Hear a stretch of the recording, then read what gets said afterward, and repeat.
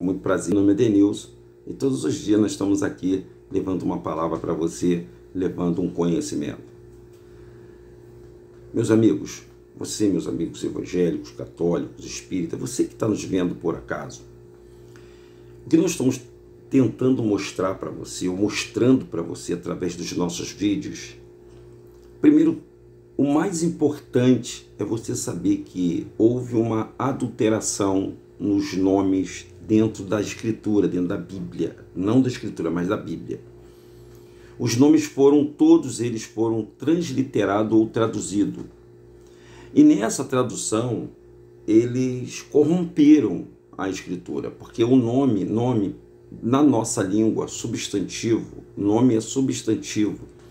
E substantivo não tem tradução. Substantivo ele é próprio, ele ele, é, ele é próprio aqui por isso que ele se chama próprio, e próprio em qualquer lugar do mundo. Teu nome não vai mudar. E por que que só no nome do Criador, do Altíssimo, e no nome do seu Filho, houve uma adulteração, houve uma troca de nome? Alguém, alguém estava de má intenção, né? Alguém estava querendo que ninguém conhecesse, mas eu sempre falo isso, não há nada oculto que não venha a ser revelado. Então, para vocês todos que conhecem, se você conhece alguém aí, algum evangélico, algum, algum católico, alguma pessoa que crê no nome de Jesus, você vai mostrar para ela esse vídeo. Porque nós vamos mostrar para você que o nome do Salvador, do Messias, né, não, nunca foi Jesus. Nunca foi Jesus. O nome de Jesus é uma invenção, é um fake news. Mas, Denilson, não é possível. É, as pessoas são libertas no nome de Jesus. A gente vê cura, milagre. A gente sente o Espírito Santo né, com o nome de Jesus. Mas não é o nome de Jesus que está operando os milagres. O que está operando os milagres são vocês e a fé de vocês. E o próprio Yahushua, ele sabe que você está tentando buscá-lo mas com outro nome e em lugar errado. Ele e a eles estão o tempo todo com você. É, e a Ruxa está o tempo todo com você. Ele não precisa estar na tua igreja. Ele não está na tua igreja. Ele não está lá com naquele tempo, quando você reúne em hora marcada, em dia marcado. Você nunca parou para perceber isso, não? Você vai lá, tem um certo horário, um certo dia para você comparecer naquele local. Ele está o tempo todo com você. É só você conhecê-lo, ele está dentro de você. Ele é a sua vida. Por isso, por isso ele disse: Eu sou o caminho, a verdade e a vida. E o nome Jesus, que foi copiado, esse nome Jesus, ele copiou o nome do verdadeiro Messias chamado Yahushua, a qual nós estamos aqui todos os dias falando para você. Então, é, esse nome é mais importante do que tudo que você possa saber, gente. Tudo que você possa ter do seu melhor empreendimento, daquilo, daquele negócio, daquela aplicação, é, é a melhor coisa que você pode fazer é aceitar o nome de Arroxo. É, é aceitar o nome de Arroxo. E a letra J você já sabe, se você for pesquisar, por favor, pesquise. Não precisa, você acredita 100% no que eu estou te falando, pesquise item por item Pesquise a letra J, pesquise o Iesus, que foi inventado lá pelo, pelo Lutero, né? que era um Iesus, é um, é um, o Iesus do, do, do, do hebraico para o latim, Ieso quer dizer cavalo. E para o grego quer dizer porco. Então você está adorando, quando você adora a Jesus, infelizmente, né? Eu tenho que respeitar você. Você na tradução você está tá adorando um, um, animal. É isso que eu estou te falando para você. Você está adorando um animal. Ao invés de adorar o verdadeiro Salvador da humanidade, você está adorando um animal. Mas eles fizeram isso de propósito para você poder ser enganado. Quem fez isso, gente? Quem fez essa maldade de fazer cometer essa atrocidade? Quem será, hein, gente, que fez isso com as pessoas? Para enganar milhões de pessoas, 280 milhões de pessoas ou 40 milhões de pessoas aqui no Brasil e no mundo chamando o nome de Jesus. E hoje eu um dos poucos, um dos remanescentes que estamos querendo a verdade, lutando. Não somos perfeitos, mas descobrimos muitas verdades, muitas. Não foi uma só não. A principal é o nome do Salvador que se chama Yahushua. Vamos aos fatos e vamos mostrar para você essa Bíblia aqui. Essa Bíblia que eu estou lendo é uma Bíblia chamada Imaculada Escrituras. Imaculada Escrituras. Ela deve ter o seu valor entre 300 e 400 reais, é um pouquinho cara, tá?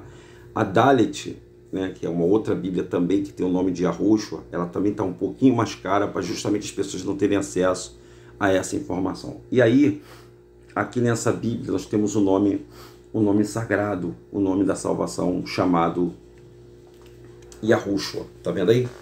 Esse nome aqui, o que, aconteceu com a história do Yahushua, gente? Eu sempre falo isso para vocês e eu vou retrucar, eu vou falar para vocês, vou repetir.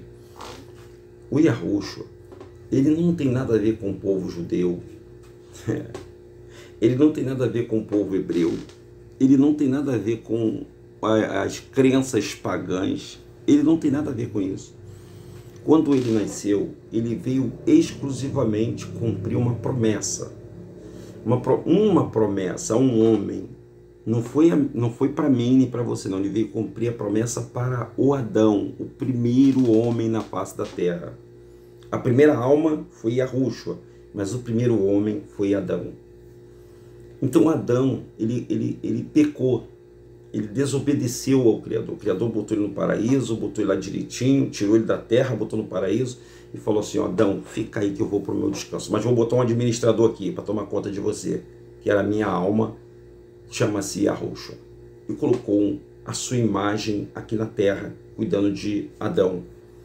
Essa história do Adão você já conhece, mas eu estou simplificando para você entender.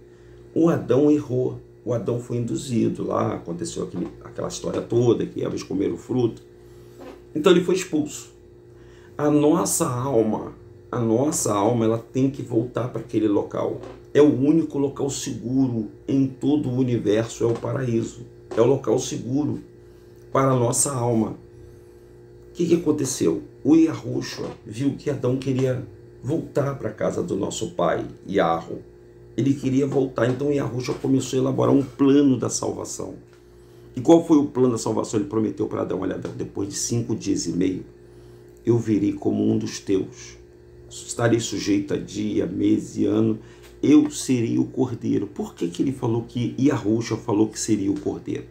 Porque Adão, o primeiro animal que Adão matou, por incrível que possa parecer, foi um cordeiro. Um cordeirinho Adão matou, teve que Adão matou para fazer vestimenta e comer a carne do animal. E por causa dessa atitude, quando que Adão fez isso, porque o, o cordeiro era o melhor amigo de Adão e teve uma outra atitude que Adão também pulou de um penhasco, ele se matou. Adão se matou mais de três vezes, tá, gente? Ele foi ressurreto por Yahushua mais de três vezes. A última vez que ele pulou de um penhasco, ele e Eva,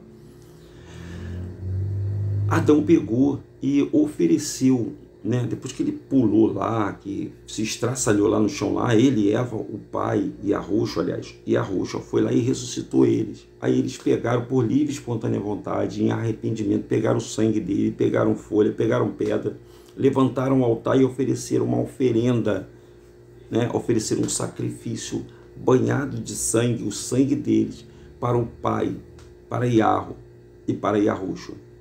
Então, Yahushua viu essa atitude de Adão e viu o arrependimento que estava no coração dele e falou assim: "Olha, eu vou, eu vou, eu vou te salvar, você e a sua descendência justa". Então, toda a descendência de Adão justa seria salvo e é salvo por Yahushua. Só que quando ele falou que ele viria depois de cinco dias e meio, Adão, Adão ficou, pensou que era 24 horas, cinco dias, 24 horas, mas não era. Ele estava falando de 5.500 anos e ele veio e o pessoal não aceitou ele. Tanto não aceitou, os judeus detestam esse nome chamado Yahushua. Eles não aceitam o nome Yahushua. Eles não aceitam que Yahushua seja o Messias. Porque eles esperavam um rei pomposo, um cara forte, um homem de governo. Messias quer dizer homem que vai resolver tudo, todo o problema da humanidade. E realmente Yahushua veio resolver o problema da humanidade, mas ele veio não de forma como eles pensavam, os políticos pensavam, mas de forma diferente. Ele veio na humildade. E ele disse que a humildade precede a honra, que o reino dele não é desse mundo. E aí, sabe o que fizeram com ele? Os egoístas desses governos mataram ele. Mataram ele e trocaram o nome dele, botaram o nome dele de Jesus. E hoje, botaram de Jesus, depois Jesus. E hoje você está aí, adorando a Jesus. Mas aí, esse a cúpula desses, desses rabinos, Deus, né, que não são todos, tem a parte que é messiânica, acredita em Arroxo, eles não, os mais fortes, mais influentes, eles não se, se contentaram. Eles não queriam que o nome do Altíssimo fosse conhecido pela humanidade. Então o que eles fizeram? Trocaram o nome do pai. Ao invés de falar que o nome do pai era Iarro, que é o nome do pai, que é Iarro, eles falam que é Elohim, que era Yud-Heh, Yahvé, Jeová. Botaram esses nomes todinho, é o Shaddai, Adonai, que não tem nada a ver com o povo hebreu. Mas eles colocaram. E você, que está aí do outro lado, está sendo ensinado esse ensino subversivo dentro das igrejas evangélicas. Que ele também não mandou fazer igreja nenhuma. Ele falou que nós somos o templo, nós somos a moradia. Bom, mas vamos falar um pouquinho dessa passagem de Yahushua para vocês, para que vocês entendam o que que Yahushua falou para todos nós. Olha aí, ó. Yahushua ensina como se, ó, Yahushua ele ensina que deve se abenegar para servi-lo. O que é, abenegar? É se negar. Preste atenção no que eu vou te falar. Em seguida, Yahushua disse a todos: se alguém quiser ser meu seguidor, escuta, se alguém quiser ser meu seguidor, negue a si mesmo e a cada dia negue-se a si mesmo, negue-se a si mesmo, tome cada dia o seu madeiro e siga-me.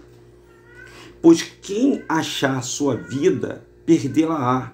Mas quem perder a sua vida por amor da minha causa, achará-á. Pois o que adianta alguém ganhar o mundo inteiro, mas perder a sua própria vida?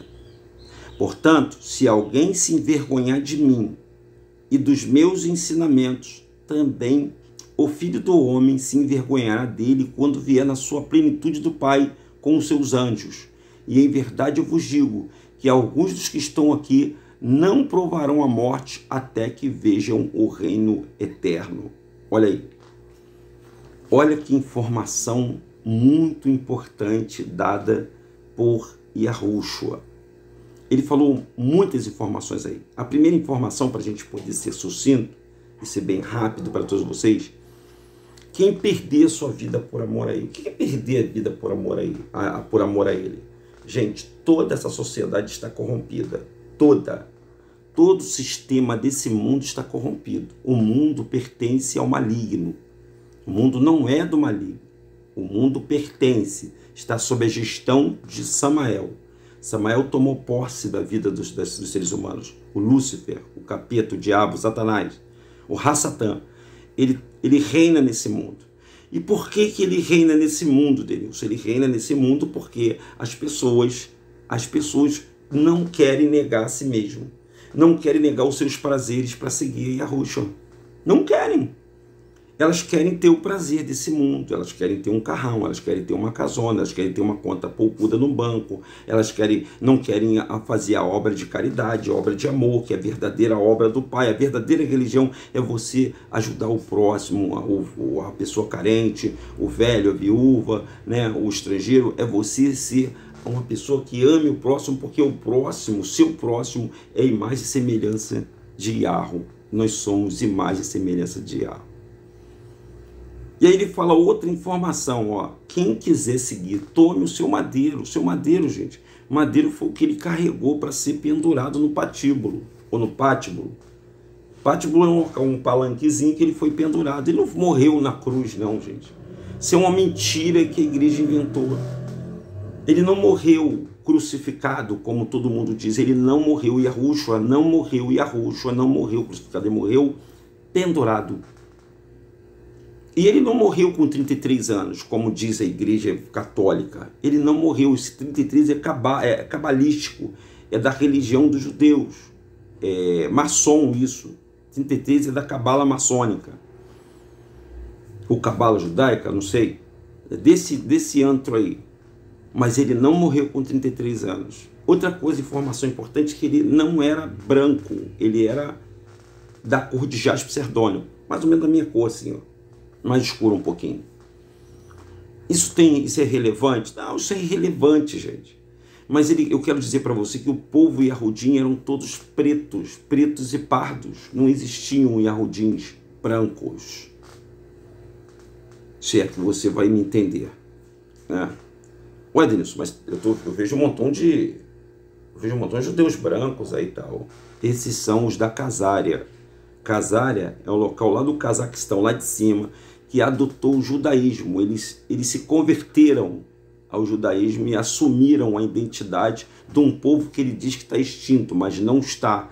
Esse povo hebreu, essa parte desse povo hebreu, porque o povo hebreu são 12 tribos, 13 tribos essa parte dessas 13 tribos elas ficaram perdidas pelo mundo e parte, maior parte dela veio para a América, onde a América já era, eles só se desviaram um pouco o caminho, gente.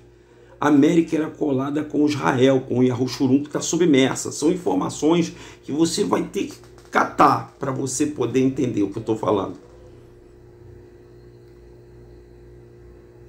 Então, Yahushua veio para salvar as pessoas mas ele não veio especificamente para os judeus, ele veio para todos, ele veio para a casa de Israel, a casa perdida, e depois para todas as pessoas, porque eles não aceitaram Yahushua.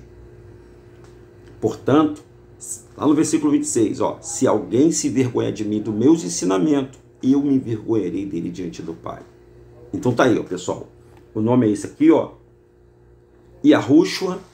Esse é o canal DRM, o canal dos livros apócrifos. E se você quiser mais informações, entre no nosso vídeo você vai ver um montão de informações, tá bom? Um forte abraço, um ótimo dia para todos. Tá? Deixa o seu like, tá, pessoal? E hoje à noite estaremos numa nossa live às 19 horas com o nosso irmão Jarley, tá? Que a Ruxa abençoe a todos vocês.